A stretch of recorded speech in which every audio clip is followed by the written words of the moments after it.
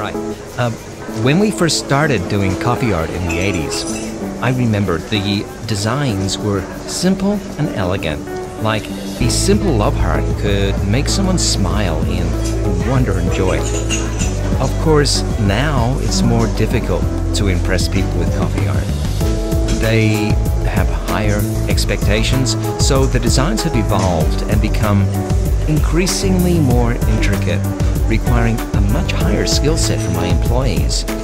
So, because the cost of my overheads goes up, so does the cost of each cup of coffee.